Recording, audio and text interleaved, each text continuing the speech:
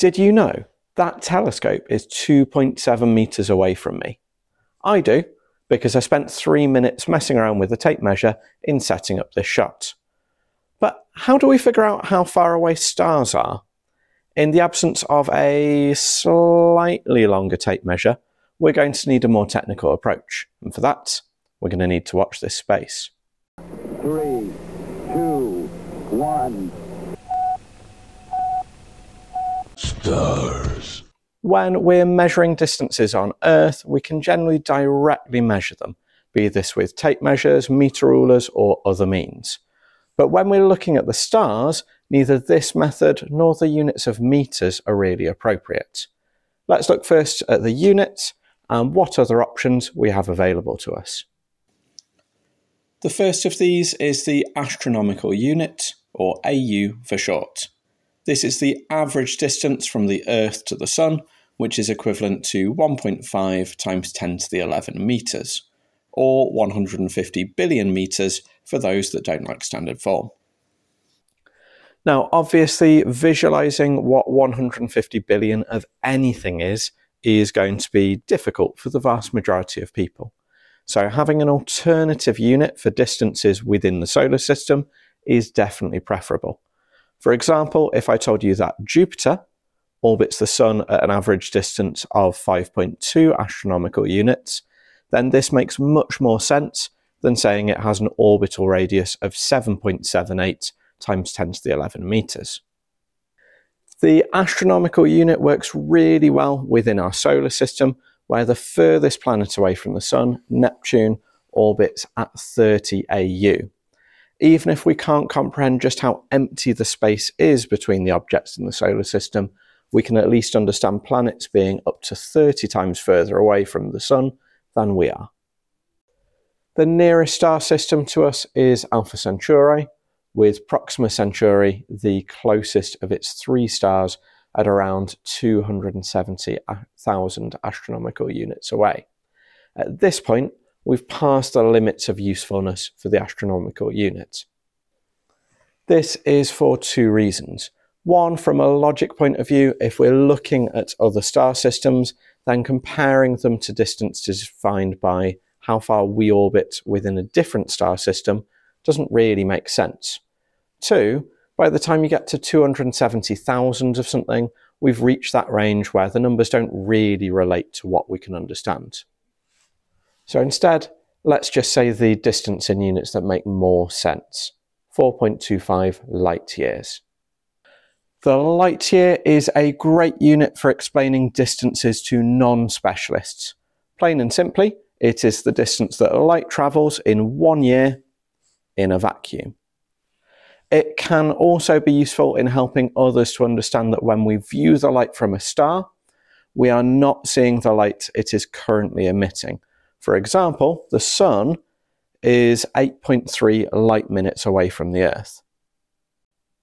So, if the Sun stopped emitting light now, then we would still be receiving the light that the Sun has previously emitted for a full 8 minutes and 20 seconds until things go dark.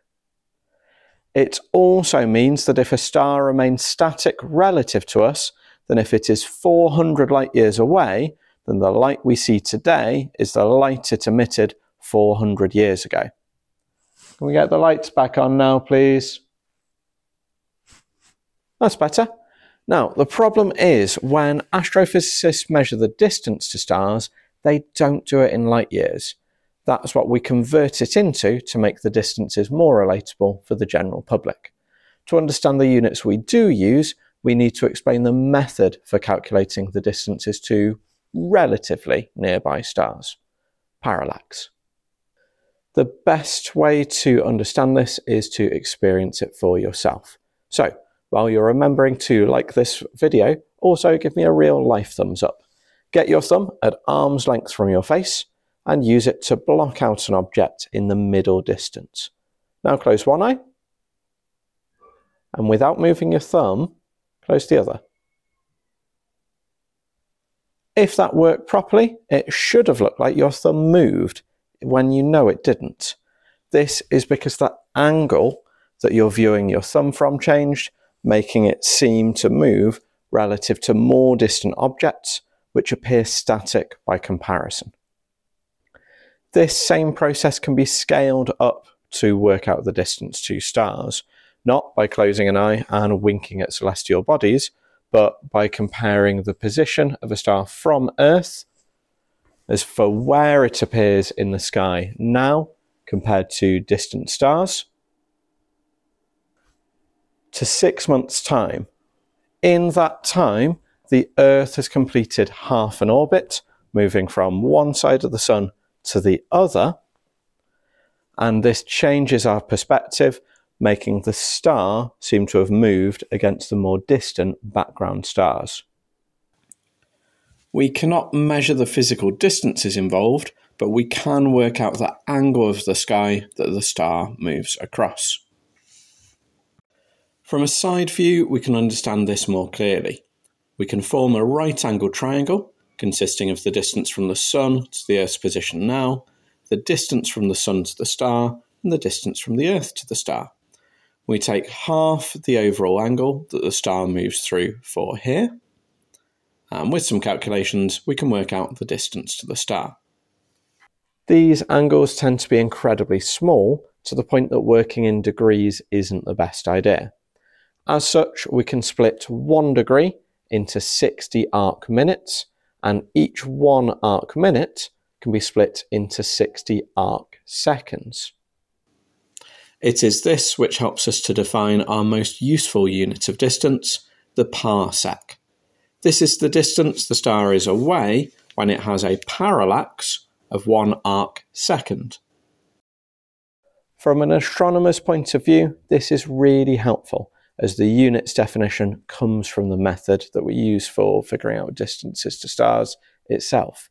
So, whilst light years might be easier to understand for the public, parsecs are what are more commonly used in a professional setting. As with the thumbs up example from earlier, the closer the star is, the larger the angle of parallax.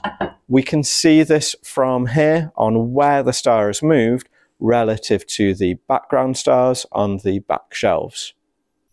There are some serious limitations to this though. More distant stars will have increasingly smaller parallax angles. If these become too small for us to reliably measure, then we can no longer use this method to work out the distance to stars.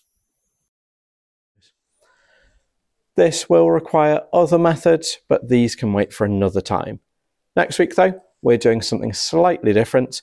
I'm going to try and make the constellation Orion in the lab, putting the stars at the right relative positions to a camera to demonstrate just how important perspective is when viewing a constellation. Until next time, please do have a look at one of the other videos from Haberdashers Adams Astronomy, including this one. Also, like this video if you enjoyed it, subscribe to the channel if you haven't already, and until next time, please continue to watch this space. Thank you.